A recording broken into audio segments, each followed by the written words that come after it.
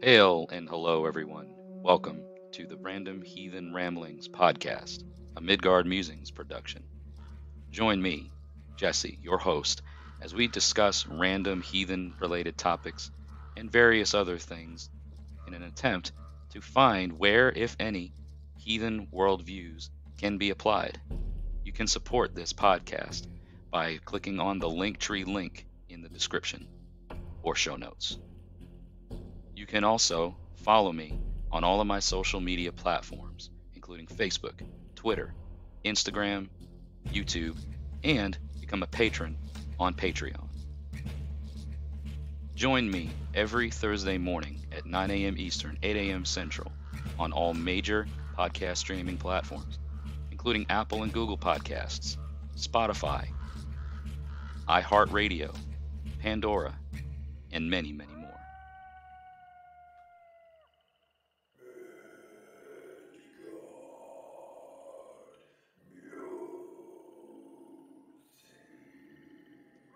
If you wish to have your voice heard on the Random Heathen Ramblings podcast, you can dial in to 615 671 9832. Thank you all once again for listening to the Random Heathen Ramblings podcast. Enjoy and hail to you all.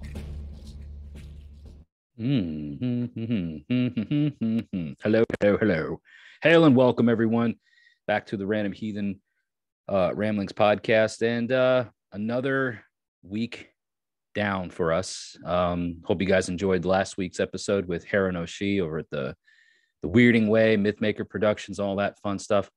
Really awesome guy. Had a great time on that uh, on that episode. Got another guest lined up today.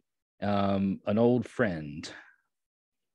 He's been on this podcast a couple of times. Uh, well, he's been see if he's been on the podcast more than once, but he's definitely been featured uh, on on Midgard Musings more than once. He's been on the podcast at least one time, and uh, used to pop in for like random live streams and stuff on the on the YouTube channel. And he's got a really uh, neat outlook on things. He's uh, he he he practices a bit of like occult type beliefs, but he uh, it's it's heavily rooted in like Enochian keys and Enochian magic or whatever. So I, I always referred to him as my Enochian brother. Uh, and he is a brother to me. He is, although not pagan or heathen, he is definitely someone who I would consider kin, you know, or kith as, a, as an extension of the, the kin circle. Um, and he has been he's been to every one of my uh, hosted Yule events that our tribe holds. So he is like a an honorary you know tribal member he has he has contributed to said rituals um, over over the years. Um, we've spoken many many a word over the horn as it were right? We've uh we've, exchanged a lot of wisdom and weird taught a lot of weird with each other and exchanged um the not the gift of knowledge in that way. So you know sometimes i remember uh some evenings where i would sit with him and he would uh we, we would just be talking and then you know the hours go by and you uh, lose track of time. so Richard McCune is his name. You've, like I said, been uh, been uh, introduced him at least once before if you're uh, following the podcast, and if you're not yet following my podcast, what are you doing? Give that follow button a smash. Give that like button a smash. You know, uh, interact with the uh, with the platforms, however it is that you capture this this podcast, whether you listen to it or watch it on Spotify or Apple Podcasts, Google Podcasts, the YouTube channel here um, wherever, however.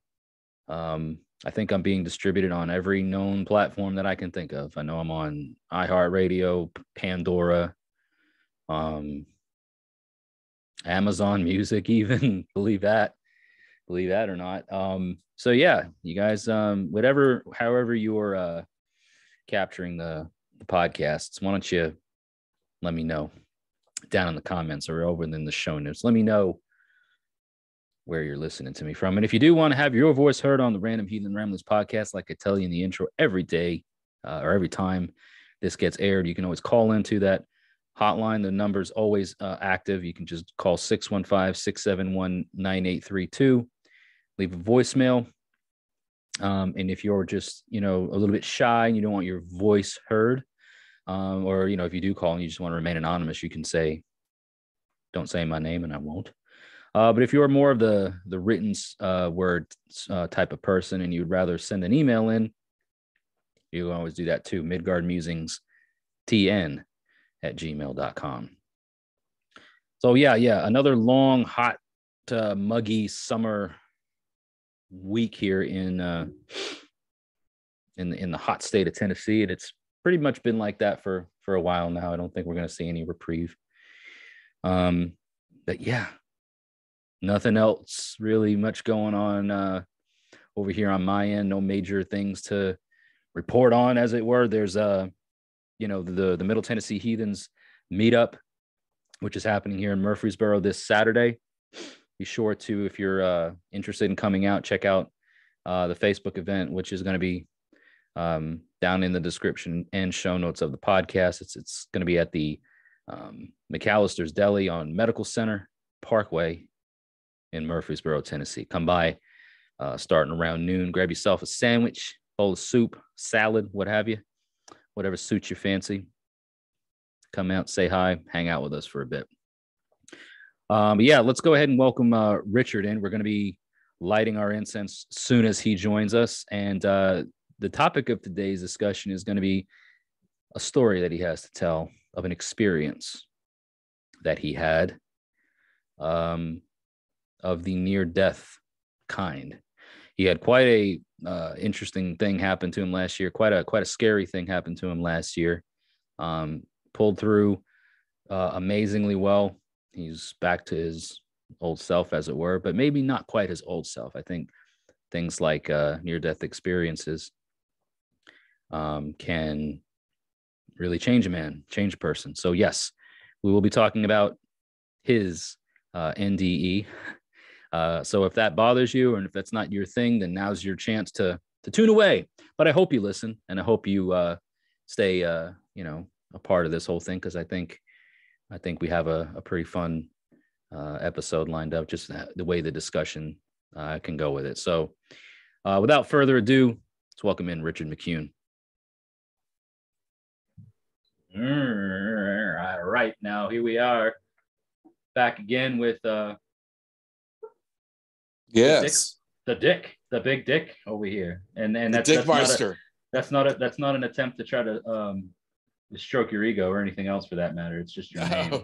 but yeah, guys, Richard McCune's back here, um, as you can tell, and uh, yeah, I think we got a pretty pretty neat uh, podcast lined up for us today. While while we get into it, I've got you know the the incense thing here that I'm gonna just fire up. But um, I was telling everybody before, uh, Richard, that your uh, you know, for those that are like new, right, that haven't uh seen you before or known you before the other podcasts, uh, what's your what's your uh what's your deal, man?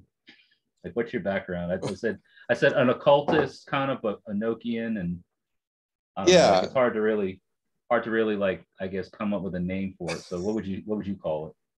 Um, I'm okay with uh, the Enochian thing Um because um, I do practice some Enochian magic, but mm-hmm. I, I personally, I, I, like to pull from a lot, a, a few different things. Um, so, um, if if some of my views sound maybe sound a little Christian, if my views sound a little satanic, uh, if my you know it's because I or um, or kind of magical, kind of woo woo using crystals, yeah. you know, um, it's because I I tend to pull and make my own belief system ideas and, and so on. You and got so your forth. hands in all so, kinds of different pots, I guess, right?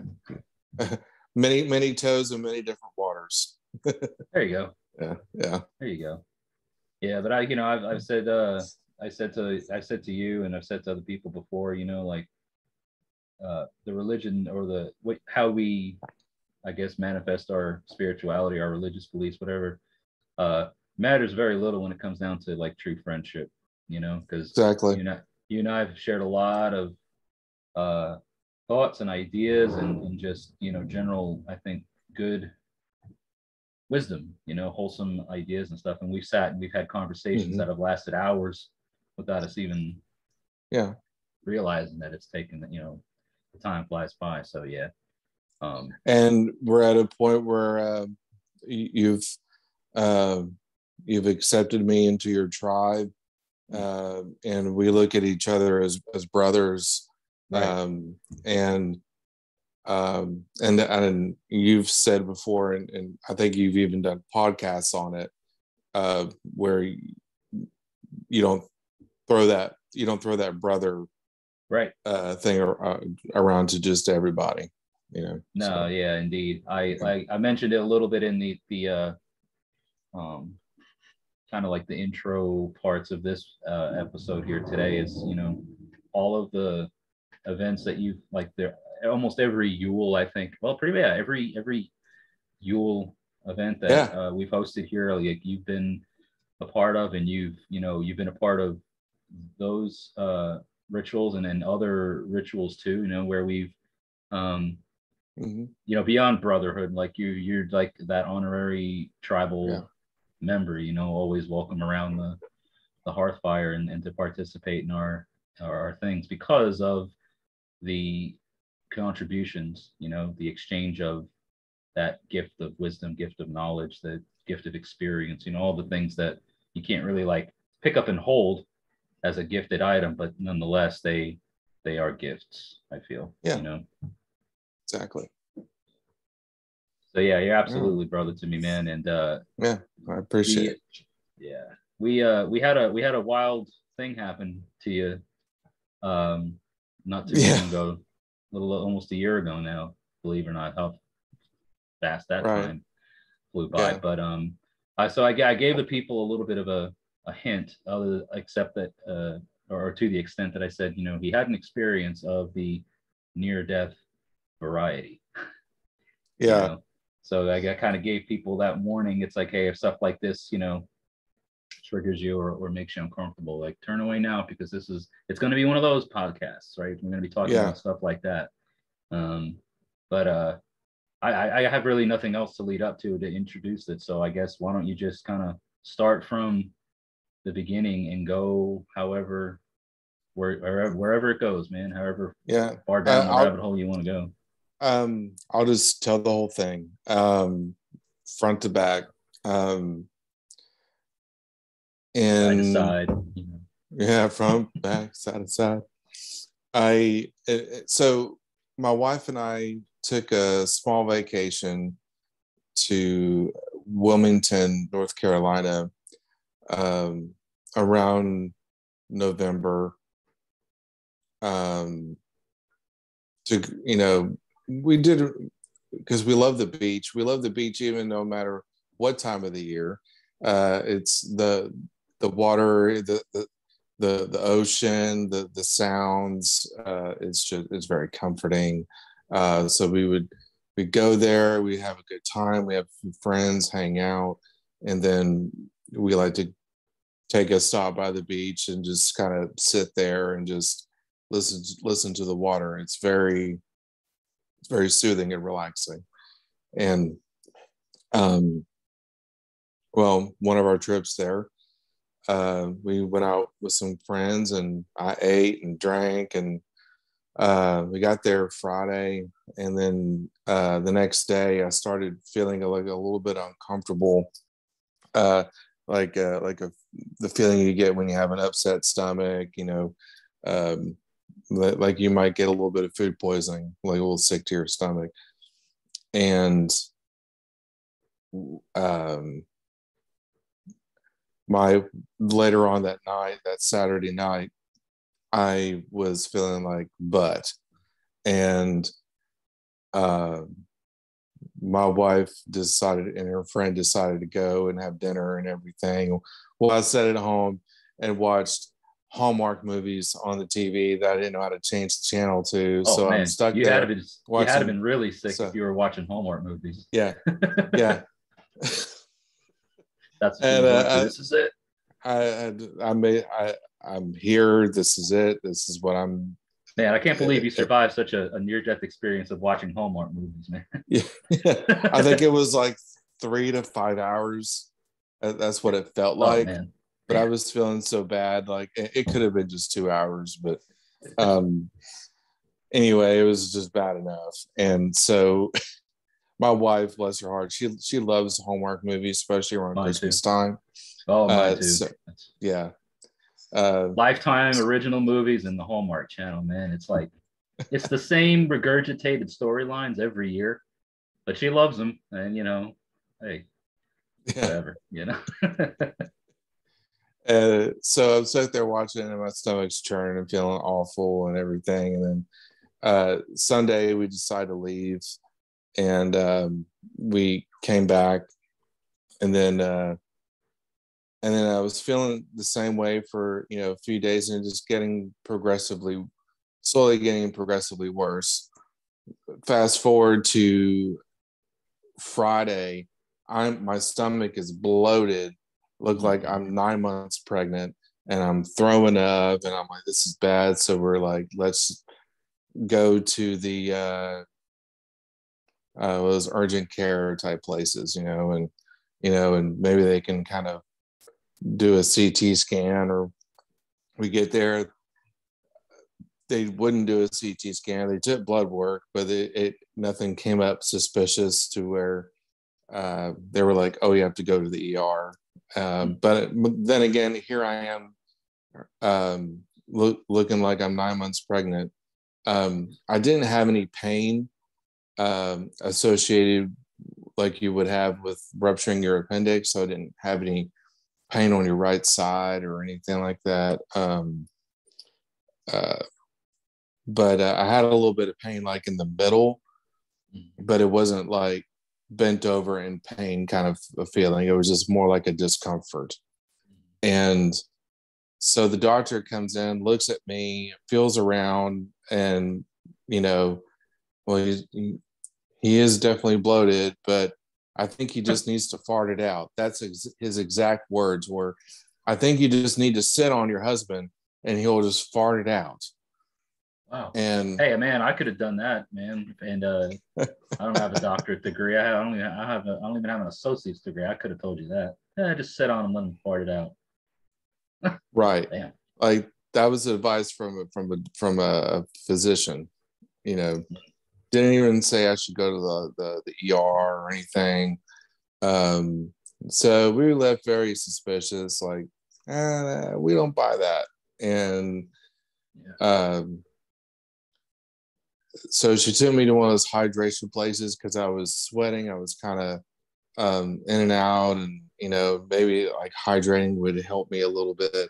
And um, so we went there, and one of the nurses on staff was like, "He doesn't look good. I think he needs to go to the hospital." And shortly after that, we we went to the the ER, and um, they take me back to a CT scan. In the middle of the CT scan, I'm like vomiting and everything, and vomiting like on the way back. It was getting progressively worse, and the the sur- surgeon came in and was like, "Well, we're going to perform emergency surgery. We think there might be a, like a blockage or something like that." Uh, needless to say, they opened me up and they noticed I was septic, and so they life flighted me to Vanderbilt Hospital, which is, if anyone in Nashville, that's like the best hospital, the best oh, yeah. care. Yeah. And, now wait, um, now so you they they they they you went back for the scan. You're vomiting on the way back to the to to get scanned. Mm-hmm. Um, they did they get the results of your scan to determine we need to cut you open, or was that just like a we think we know yeah. what's going on, it's best for yeah. us to just skip they, that part? Like, yeah, it was very it was very evident that um, he's there's really something going on. They took a good look at the CT scan, they, they noticed like a lot of bowel type stuff going on. So um, they cut me open. And then when they cut me open, they realized that um, I was septic. So they, I guess they washed me out and then they lifelined me to Vanderbilt. I guess that's a part of this.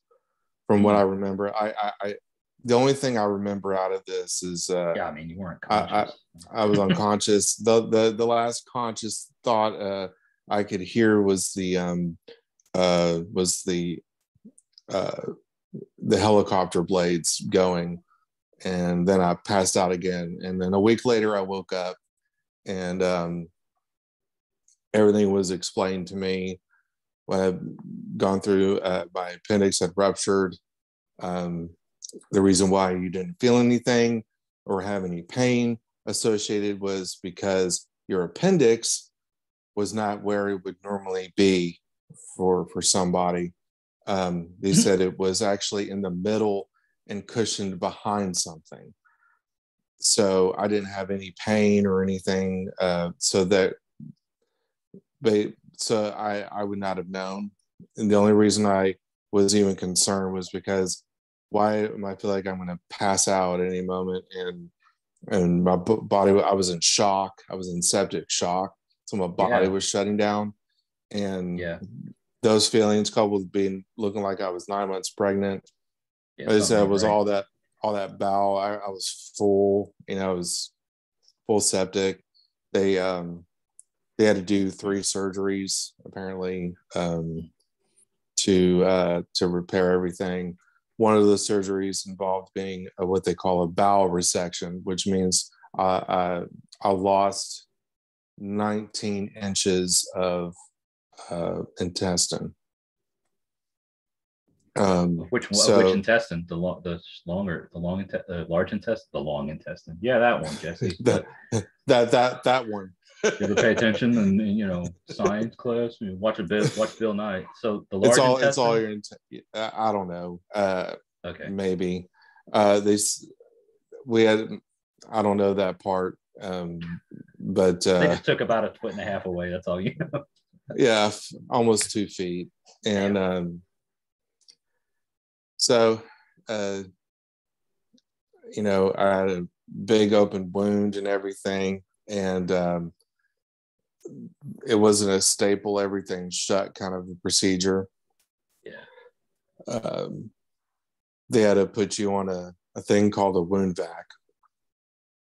And the, this wound vac is what starts closing everything up. They stuff you with a bunch of foam and and then they turn on the machine and it sucks it everything in and then um and there's a a thing that flu- fluid to flow through, so you can. You said you said they uh, they stuffed you with foam. Yeah, like, they like a uh, filling the scar, like, like a build a bear. Mm-hmm.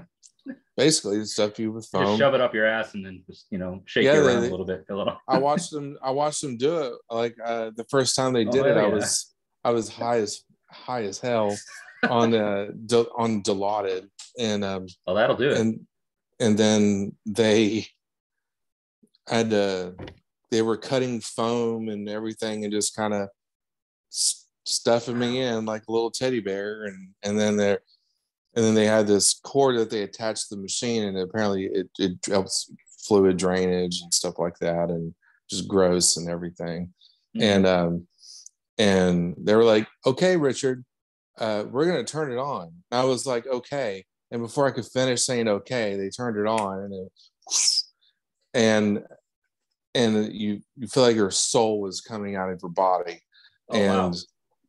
and it, it, was very painful, and that that was three times a week, um, while I was in the hospital, and then by the time I left the hospital, um, near close to Christmas, um, so all in all, I was in the hospital from November 19th until uh, December, like a week or so before Christmas, mm-hmm. something like that. So damn near a month.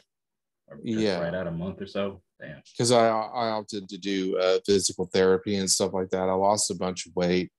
Mm-hmm. When I went in, I was around 230. Um, when I came out of hospital, when I woke up, I was around 188. And um it's about and I think right when now. I and uh, when I left the hospital, I was around 190 or so. Um and I was on this wound vac until February of this year. Um until about the end of February. and so I was on the wound vac thing for about three months. Damn. Yeah, and um, and the, going to physical therapy, they would they would change my wound vac there. I had to um, get learn to get my balance right, you know, and um, sure. Uh, get some muscles working again, and um, I couldn't do any ab or anything. I couldn't do anything to gauge your abs because the scar is literally running from just below my sternum to um, just about the groin area. Mm-hmm. So it's like all the way down your, your belly and everything. Man, and you, you basically were like, you got dissected in a way. Just yeah. almost. Yeah. Yeah. Pretty much. Um, so, damn, that's scary enough. I mean, yeah. and you know, I'm, I'm like reliving this whole experience just from hearing you talk about it because um, I, I vividly remember obviously where, where I was when, uh, when your wife uh, let us know because we were in North Carolina too. Yeah. Um, at the time. And so, you know, I think you guys were out there the week before we were. And so like we had uh we my wife and I had gone out to visit friends and family in, in North Carolina. And then I get this message saying that uh, you know, you're in the hospital, um, you were septic, and there's an emergency uh, appendicitis.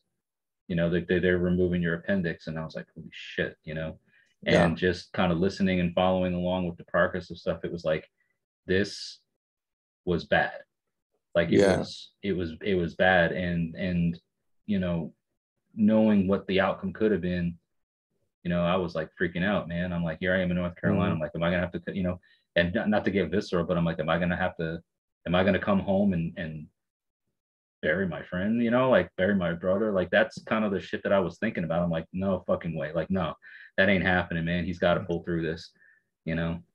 And uh so yeah, like reliving just the emotions of it all right now for me is yeah. It was it was, it was nuts. it was. And um not to not to downplay. I mean, you're the you're the one no. who went through it. So like, but it, it's uh it's really interesting. Um and this is where I get, I guess, into the near death uh, yeah. experience type type of things. Um, you know, it's surprising. Um, you would think that some people would be traumatized in some sort of way coming out of it, being in the hospital that long and being in that in, in the hospital bed for over two weeks and uh, a, a, week of your life is gone. Um, yeah, literally part of you has gone away. I mean, that, you know, yeah. almost two feet of your intestine, you lost 45 pounds, yeah. 50 pounds. I mean, just like crazy changes of your physical body, right? Yeah. Um, the hardest part of the whole experience um, was uh, I was on a lot of drugs. Um, I was on fentanyl, propofol, Michael Jackson mixture, basically, and all sorts of other stuff. Feeding, feeding tube. Um, um, what's that big uh, tube they put? Um, I can't remember the name of it. Um, it's like a not a. It's like a tube that goes all the, all the way down your throat to and and um, you know they got to pull it out once they once you're healed enough, yeah. and you know that yeah um, yeah. There's no there's no like there's no talking. Well, I mean things like literally just shove down your gullet, pretty much. Yeah, um, and I was um, tied to the I was restrained um, during that two weeks in ICU um, because I had an open wound, they didn't want my hands going mm-hmm. near. They didn't want to take that risk at all. I don't blame them. So I was restrained, and and I remember like getting the nurse's attention. So you can't speak. Um, so there, there's a suction to help suction out, you know, stuff in the belly, like like bile and fluid and stuff like that, you know. Um, well, I couldn't. I had trouble finding it a lot, and so I had to get their attention and try to get them to get the thing to, to suck everything out. And so I would, uh, this is going to be gross. I would intentionally make myself throw up uh, mm-hmm. so they would come over and do what needed to be done, you know. Um, wow. it, it, it, sounds awful. It's the worst ever. Um, uh, but then uh, coming off of those drugs um, was rough. Uh, I remember the first couple days I was awake and a little bit more cognizant. Uh, sleeping was very hard. Um, I um, was having these weird dreams. Or I, I remember telling you the, about this um, um, like you know um,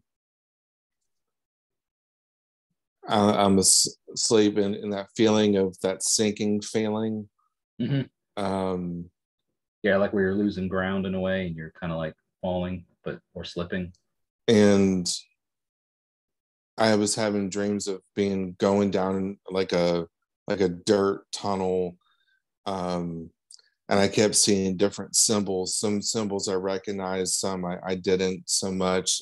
Some uh, symbols I, I recognized were from my real my faiths that I've come across, and some symbols we came across from from yours. Um, uh, especially, uh, I definitely remember seeing Freya, Freya's symbol.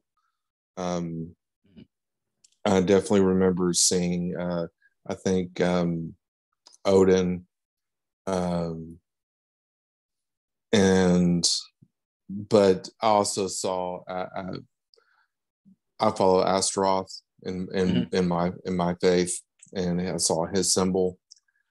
Um, so and so all these different things that sinking feeling and that feeling that if I let myself go to sleep, that I'll just keep falling, mm. that I'll just keep going and never come back up.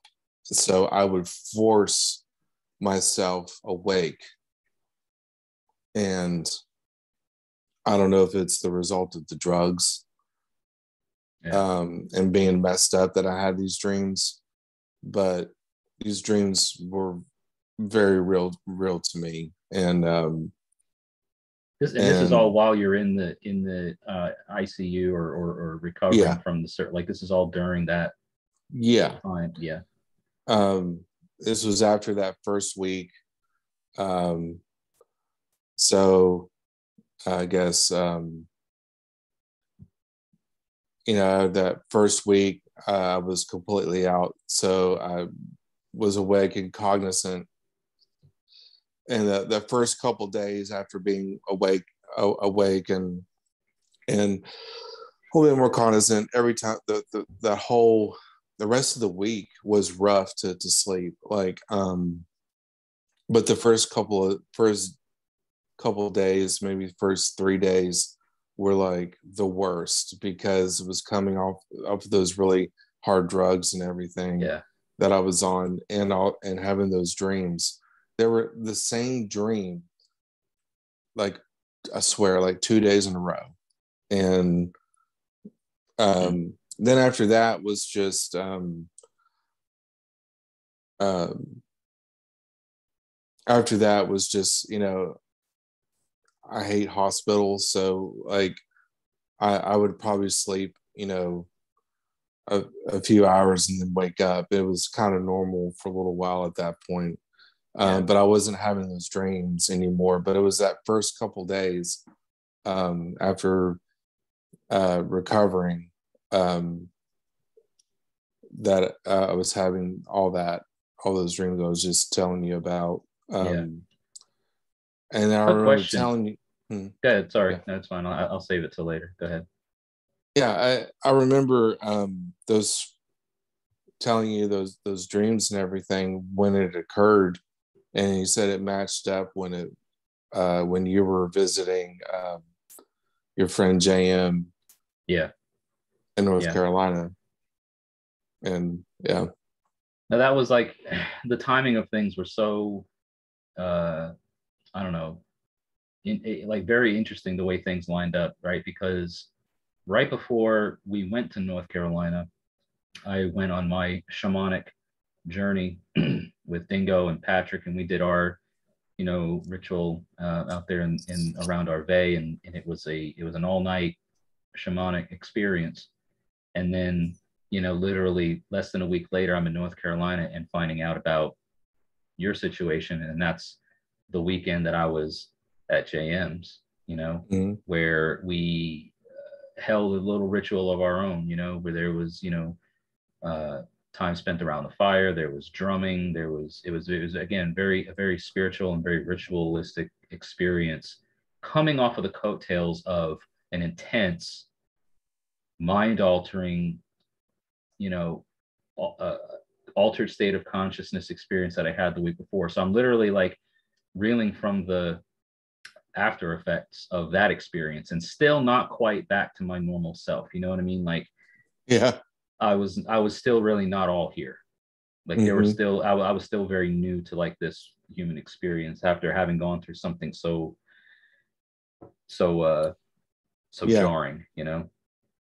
And then again, to find out about all that. And I was like, I don't, you know, I think in a way that that experience going on that journey and then being in North Carolina with JM and stuff, I think everything included uh, helped me to kind of process what was going on with you in a holistic way knowing and mm-hmm. understanding the severity of it but not like losing my absolute mind thinking about the the consequence or what could ultimately happen here like what are we facing right it was almost like i get it i understand it but i'm at i was like it's weird to say because again i wasn't the one mm-hmm. that experienced it but i was like at peace with it in a way you know, like yeah, he's gonna be okay. It's gonna be rough, but but having that moment, having that time and that experience really helped me to connect to the big bigger picture. Uh, I don't know, relativity of, of, of life and, and our place in this universe and where we land and where we fall and just how mm-hmm. kind of just it is what it is, right? Like, you know, yeah, whatever's whatever's to be is going to be, but I'll, I'm, I'm prepared for it either way. But I don't know, like just thinking back about that moment and having the memories of how I was feeling, still thinking about like, man, you know, this could happen. Like this is a possibility. Glad it didn't, of course, but you know, and I was wondering, like when you were talking about the the dreams and the the feelings of falling or slipping into this chasm or this tunnel or this, you know, uh, how you described right. it as like this this dirt almost like a mine shaft i'm thinking of and like in ways that to describe it like this just earth ridden and and the dream uh to to clarify a little bit more um the the this dream i was having it wasn't just a one thing and then it was over. Um i would go back to sleep and then it would start up again. It was continuous yeah. same thing for the entire night. I would keep waking up and i would be like okay i'm here. I, I I'm breathing. All right. Then I'd fall, drift off, fall back asleep. It would start up, get this feeling, and then I would force myself awake. It was like this for two days. So I was wondering, like, did when you would come back, right? When you when you said you kind of like would force yourself back awake, was it was it an abrupt reentry into the room and the space around you, or was or, or was it as much of a I'm going down this hole and now I'm coming back up this hole to get back to my conscious self. Was there it, a... it was it was immediate. It was abrupt. It was very abrupt. And it, but that feeling of going up the tunnel was that quick as well. So it's just mm. that hole just coming back up. Yeah. Huh. So do you think that the because I know from uh, you know NDEs, you know, near death experiences, they, they're they're very widely documented. Everybody has different recollections of what they would refer to as a an NDE, and and I know that this podcast is to talk about that. Do you do you do you think that the dreams after the initial results of like you know the the, the stomach distension the vomiting being in mm-hmm. surgery and then not remembering anything until you walk back up do you think that what you were experiencing was this drifting of your conscious self into death like do you think that that's what those dreams were or those visions or, or whatever you want to call them do you think that that would be what what you would refer to as a near death experience that it was like your body almost being like it's time to go and, and you're like no i'm not going to go that's that's what it that's what it, it really felt like to me. Um i'm i'm not going to sugarcoat it i'm not going to or anything but like it really it really felt like that to me. Um people will be like oh i don't care what people think. Uh I'm gonna let my old man, yeah, kind of come out here for a minute.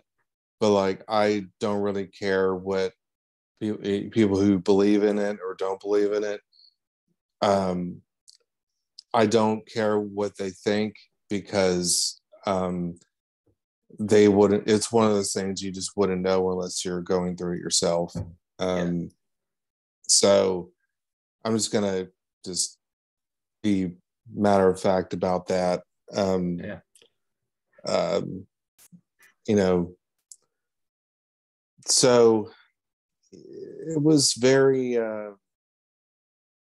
you know, um, I felt like I was leaving this place. My energy was going about going somewhere else, and I could feel it, and I, I was not ready for it. Um, uh, I didn't like it it wasn't I just wasn't my time and yeah. uh, so um, that's the really my thoughts on it um, I, uh, I I I you know I, I after I've recovered and everything I googled and don't ever do this um, yeah yeah dangerous like, um, yeah um I googled like what sepsis the survival rate. Um, it was under fifty percent. Like thirty percent of people who get sepsis live to tell about it, and um, so and uh, maybe the reason why I survived is because I wasn't I wasn't older or anything. Because some of those statistics were for people who um, who are a little who are older yeah. and let it go, they usually don't make it. Um, you know, maybe age played into it. Um, I don't know. Um, but um, I just knew it was not my time, and and um, not. I got a lot of things I needed that I wanted to accomplish, and um, yeah.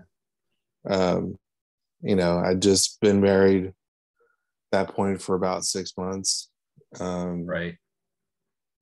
So, yeah, man, what a hell of a way to, you know, what a hell of a start to your first year of marriage, man. You go ahead yeah. and, get, and, you rupture your appendix, man.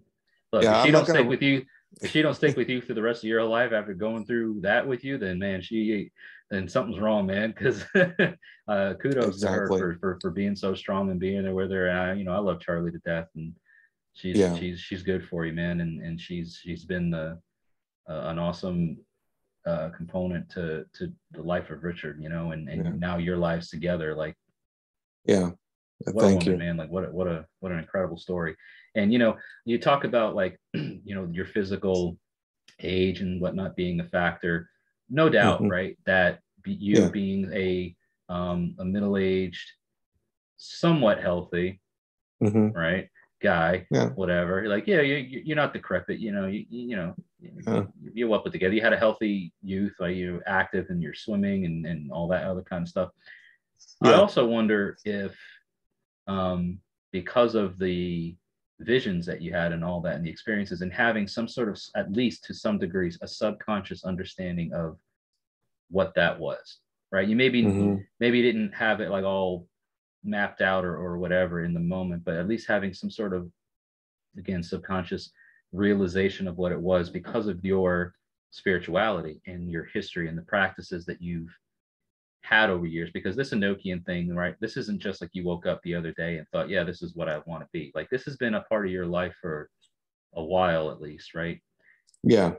Do you think that the like do you think that your not just your physical health but your spiritual health contributed to your survival uh, and and not succumbing to that it's very well into the other.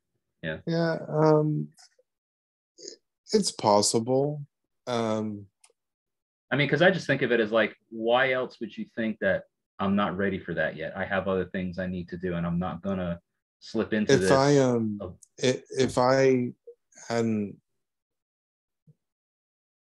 if i hadn't seen the symbols i was seeing when I, when i was having this experience um I probably would have wrote it off as something just a weird dream. Um, yeah, the effects of the drugs. but because I'm familiar with these symbols, um, I I knew that there was other things at at play here. Um, yeah. So, um, you know, I firmly believe it. You know, I mean, like I think I think that with the combination of your path and and then just having the experiences that we've had together and and like uh, you know the talks that we've had the the conversations that we've held over many a horn of mead and, and other libations and I was just that whole camaraderie the whole experience right it's almost like you know there was there was parts of all of that that mm-hmm whether you know it or not, or whether you think about it or not, almost in a way prepares you for something like this, right? Mm-hmm. Whether it's, you know, you know, the, the, the death or, or the, or the illness of a loved one, or whether it's your own uh, mortality taking hold and, and, and facing things like those are the foundations, I think, in the, in the building blocks for preparing oneself to deal with it right? The, mm-hmm. the, the unseen, the unknown, the, the the the thing beyond what we know is our mortal experience and, and, and what we see and, and, hear and taste and touch and all that. Just in um, those, you know, basic senses. The other reason why uh, I feel th- other things were at play um, were the the timing of when you were there and doing your experience with uh, with JM, and also um, I have another friend who uh, I think I've talked about it on uh, before uh, about uh, my Enochian magic a little bit. Um, I had a person who served as sort of a medium for me in the beginning um, that would help me. That would she would channel uh, was or served as sort of a conduit. Um, so the so the so they could speak through her and and everything. And that takes a lot of energy and a lot of toll on someone. Um, that that same person uh, reached out while i was gone as well. So there were there was you and then there was uh, my friend um, and um, and of course everybody else that were in their thoughts all that stuff played into it. Um, uh, a lot of energy is being put out there, man, in in this, you know, the universe you want to call it, the spirit realm. Like there was a lot of yeah, and like I've said before, um, I've said this before many times. What you put out in the universe, the universe will return in kind. Um, that that is so true here. Um, so yeah, it's it's a uh, I don't know, man. Like my, and you know, a lot of my own uh, growth in, in in in my spirituality, that where I've grown and what I've become, has has found its place in, uh, not so much like the unseen, well, not so much like the unseen in terms of like the gods, right, or or what you might consider like the divine or sacred beings. It's found mm-hmm. its place in the things that are seen, like the earth and the and, and nature and things and realizing that there's spirits all around us they take oh. form they take form of you know a heron or an eagle or or the rocks and the trees and the water and the you know the trails and, and nature and stuff like there, there there's literally a multitude of sentient beings like we are but just in different form existing all around us and tapping into those you know ton, like like tapping into those uh places and, and connecting reconnecting back to those places has opened up such a uh a window for me and and realizing just where I where I am in this big universe, as you say, the things that you put out, you get back. It's it, it is it, it doesn't make it so like it's vast and there's this void that like kind of blows your mind when you think just the the the, the size of it all and and us mm-hmm. in comparison as pe- as beings. But at the same time, it's also like, but I am a part of this and I am able to influence this and this and I can mm-hmm manipulate things and make things happen because I've done it and I've seen it and it's happened. And so, you know, I don't know, man. It's like a, it's such a, mm-hmm. a wild thing to to know that you're not just you're not nobody here. We're not nobodies. Yeah. We, we are we are powerful beings. You know. Yeah. Yeah, and we have the ability to do some really powerful shit. you know. Yeah. Yeah.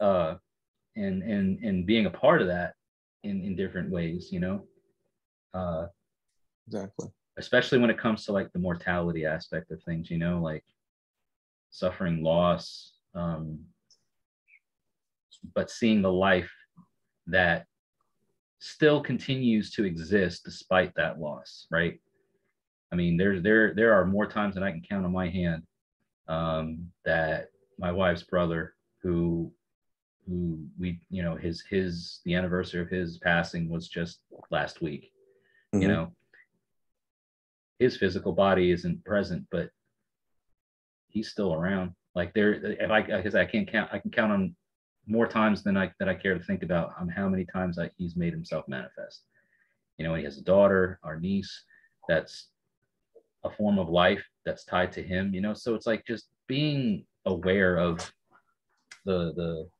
the cycles, you know. Um, yeah. Seeing you rebound, and that's another thing I wanted to talk about, man, because like you were saying, like an event like that could could could severely, and, and I'm sure has, you know, uh, traumatized people. Mm-hmm. Um, and it's you know, that's understandable, you know, to go through such a a traumatic event of nearly dying and, and, and having part of your body literally ripped out of you and all this other kind of stuff.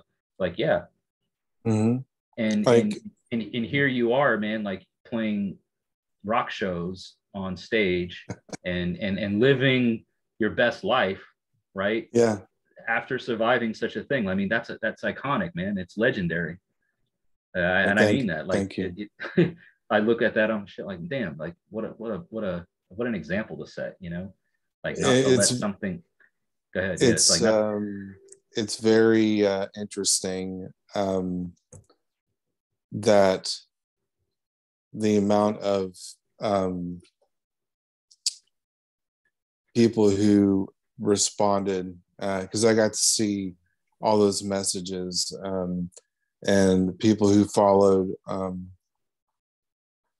on social media who cared um, and something like something like this you know you learn who your friends are um, um, I'm not going to say anything negative uh, about it.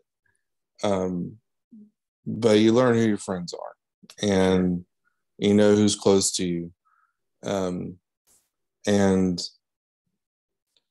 so this has given me a different perspective on uh, friendship and you know who to let in who not to let in mm. um, there's you know, being in the music scene, um, being uh, a, a, musician, you know, there's people I, I, I, held on a on a pedestal, you know, for mo- for most of most of this life, you know, and I don't have as much people I put on a pedestal anymore because I honestly do not need that and in my life you know? Um because those people I, I've put on a pedestal for most of my life didn't bother to reach out. And um and so it, you know it grounded me and put things in perspective right mm-hmm. and um and because of you learn who your friends are um it led me back into a band that i was not no longer involved in um I had moved on. I had stepped away from it. Uh, I thought my time in the music scene was pretty much over. Um, then my appendix thing happened, and um, when those people, guys in the band, reached out and everything and showed support, um, that changed my perspective. You know, those people I was putting on a pedestal that didn't care, then the ones that I left thought I didn't care uh, d- still cared, um, spoke volumes to me, and and when they reached out to me like, "Hey man, do you want to come jam?" That was a that was a fucking no brainer in my yeah. opinion. Like, yeah, whatever happened was in the past. You know, let's do it. And now Rattle Trapp got to play our first show as a band at, at Exit In and right. checked off a bucket list item for me. And um and it's so amazing um to sort of have this um come back if you will. Yeah um, a rebirth in a way you know? and i'm not just saying just from from from a, from a music perspective but a, a life perspective like um i um I, I'm more into my faith as I thought. Um, I'm not nec- doesn't necessarily mean reading books or um, or dancing around naked in a camp campfire. um, though, though that well, is I, fun. I've run out. I've run out of books to read, so you know I got to do something. No, I'm just kidding. Got to do something. um, around uh, naked around the campfire is not as not you know don't don't don't knock it till you try it kind of thing. Don't knock it till you try it. Yeah. um. So, you know, I, I'm more in tune with with my beliefs and my my my faith. Yeah. And my um being than I've ever have. Um, I'm a little bit more driven. Um, I, I still like to be lazy because I, I, like to be lazy as fuck. And don't get me wrong, but um, but I'm very uh, driven when I am involved in things, and um, um, uh, as a as a musician, uh, I'm cranking out the guitar riffs left and right. So, uh, well, like I uh, say, you know, the there, there's so much of your like you say, you know, the the near death experience. Like your life is your life, and and part of your life is music. You're a musician, and I and I don't know yeah. too many people who are legitimate musicians who um, would not would say that music is not a part of their life. oh, it's definitely uh, right. It's always been a part of my life. You know, um, whether it's sitting in the background or at the forefront. Um, yeah. uh, right now, it's it's at the forefront. You know. Yeah. Um, that you kind of went um, through those those that that kind of like you went through that like roller coaster of uh, of experiences right and the thing that kind of launched the Rattle Trapp to to be what it is mm-hmm. you could almost look at it in a way it was like your near death was the near death that needed the thing to die and be reborn into what it is now. If you want to, yeah. i mean that's how i look at things anyway. That's how i see it. It was like there was a there was a time that part of you was dying. Mm-hmm. and whatever part of you that was connected to the band and in any sort of way and then what needed to die did. And now look what has happened because of it. Right there was this yeah. resurgence this uh, this revitalized approach to and um, you guys play exit in man. Like that's nuts. That's that's yeah. great. and also um the my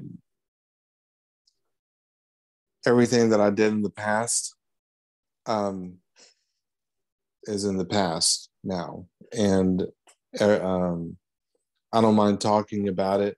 I used to get very nervous and talk about it. Used to be a, afraid of judgment or or um, how people would feel about me because of my past.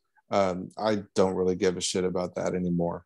Mm-hmm. Um, uh, what's in the past is in the past, and uh, yeah. what I'm doing now is most important. I have a beautiful, lovely wife who um, takes very good care of me, and I take very good care of her.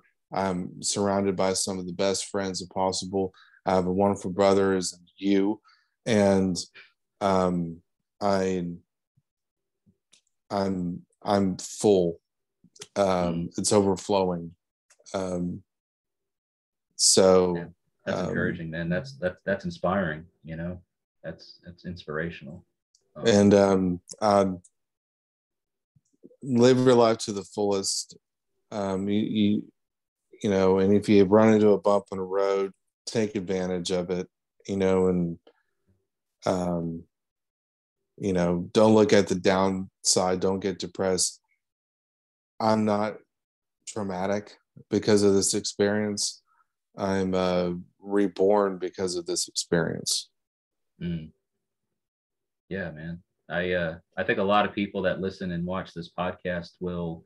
I think that I think this whole uh, episode, this this story that you shared with the world, uh, will resonate to a lot of people in a lot of different ways. Um, you know, everybody has a story, and how that story gets told and when that story gets shared is up to the person. Uh, and and it it's all it all ties into I think how we uh, write our stories, how we tell our sagas. You know, I've like I've almost in in almost every episode, or at least in multiple ways, I've said that you know and it's not just me. I mean, I didn't coin this phrase. It's it's come from a bunch of different sources, but we live in saga times. And the sagas that are being written now may not be that of a great king who led an army against, you know, oppositions or or or great heroes that slew monsters or all these sorts of things that were in the old sagas or some of these old tales and and, and, and folklore. But they are nonetheless great tales. You know, the yeah. story of you know the story of of, of Richard who came back from from death and and, and saw ancient symbols in a in a in a great tunnel uh, where he was traveling through in, into darkness and he came back into consciousness into life and, and went on to become a great skald among the people and, and, and sang and performed great songs in front of an audience and, and performed on stages. You know like stuff like that man. That's that is the stuff mm-hmm. of sagas. You know what i'm saying? Like yeah. you could you could position it in that way and, and it's be you know kids would be just like tell me the tell me the one about you know richard the gutless. What you know the, the, man who lost his head two feet of his intestine. Like tell me that story again right but uh i don't yeah. know man it, it, it's like stuff like that that is is inspirational and it's uh, it's it's stuff that i think people can take their own experiences however big or small and be like wow this guy who i don't necessarily know very well uh, told this amazing tale of endurance and of rebirth and of you know meeting the the challenges the the, the frightening reality of, of possibilities of, of death and, and all that and then turned it around to become something to fuel his life right mm-hmm. i think that's pretty epic yeah i, I mean i really I, do i may be 43 years old but um i'm uh not a I'm, not a day over 90 then. No. Nah. Don't look at day over 90. nah. You must use be, just for men because you have way less gray hair than I do. Um, I I tell you what, um, in my last job, uh, someone actually asked me that, and I gave a real sick and disgusting answer. Yeah. Um, I, I I don't know if it's safe for this podcast, but you probably um, you, you, have you have a healthy diet. Uh, well, I mean, uh, you can also use a lot of lotion. You know what I mean? no, it's like five times a day, five times a day. That's it. So, got to bump mo- up the that, numbers, right? That's a, that, that's that, that's a modest amount for for a man of forty three. You know, there's that's only so many good. hours in there's only so many hours in a day when you're not, you know, shopping for life insurance and um, taking, taking power naps. Take right? take a power power nap and get up and get going again.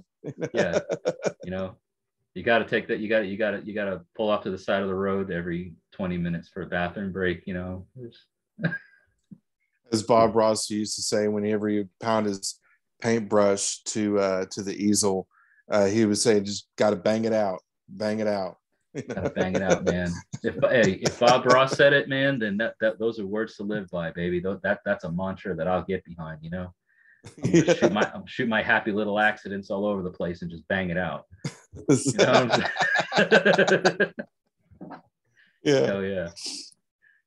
Oh, dude. Well, that's that's great, man. I um I'm I'm so glad that we got a chance to, you know, because I've talked with you obviously about this since then, and, and we've had our own little one-on-one or or group conversations about the whole thing. But uh, I, I, I want to thank you very much for for being willing to talk about this and revisit it and and be candid enough to yeah. basically just a wide audience of people to tell yeah, the story and, abroad and, and, and share that with with people. I think I think it's going to resonate with a lot of folks. I really do. Yeah. Um, you know, I, I used to be very timid about talking about personal things about religion and things like that. And um, I'm not scared to talk about it all anymore. Um, I uh, don't care uh, how people see me uh, when I talk about those things. Uh, I used to, um, but you know, you only live once. For sure, and I uh, I, uh, I, I mentioned this too before you came on here that you know you're no stranger to the podcast. Of course, you know we've been friends now for a long time and, and our brothers. So um, yeah, for, for for people that are wanting to know a little bit more about Richard and his background, in the description and in the show notes, uh, I'm going to link the the last podcast episode that you were on here with me, and I'm also going to link the very first video that you uh, came onto the channel, the YouTube channel. We sat okay. in this very space. We had this backdrop behind us. We we talked about things. It was almost like a little interview sort of thing. That's going to be uh, linked and annotated and all that here. And uh, so for people that want to know a little bit more about, you know, Richard and our history, um, to, as as much as it's revealed in those in that content, definitely check out the description, check out the show notes, and bring yourselves up to speed because yeah, yeah. Um, from from uh, from where you and I first met each other, like the, the channels and all that, where we first met each other, uh, and to where we are now, uh, uh, like couldn't have called it. Like I would never have thought that this is where we would be in right. our friendship when we first met. You know, it was, just, it was the music, and that's the crazy thing. Like so many of my yeah. my friends and, and people who have become brother to me, it, it all started with the music scene. That, mm-hmm. that was that that was the common ground. That was the thing that started a acquaintance relationship, yeah. which blossomed into friendship, which then grew into not everybody by no means, not not everybody, but the ones that have become brother and, and family to me, it's where it started. Yeah. That that that music scene, that music circle, and, and, and the, the ability to, I don't know, weave words through song and and, and tell tales. Um, yeah, and it's powerful, um, it's powerful magic, my man. Like it really is. You think about yeah. it. Yeah, it is. And um, casting spells through sound, like it's wild. so, you know, if anyone who's interested, um, uh, feel free uh, to go check out my new band, um, Rattle Trapp, uh, with two P's. Um, you can we'll annotate that down there too. Yeah, Put it on. You guys have got you got some shows coming up too, don't you?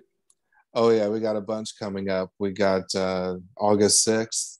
We're playing at uh, Bring It Back Games in Shelbyville, and then Shovelville. Uh, you, you, you're playing. Show, you, are playing in the shovel. Mm-hmm. Shovel, as they say. If, you, if you're from if you're from there, you just drop all most of the letters and you just just shovel. Shovel.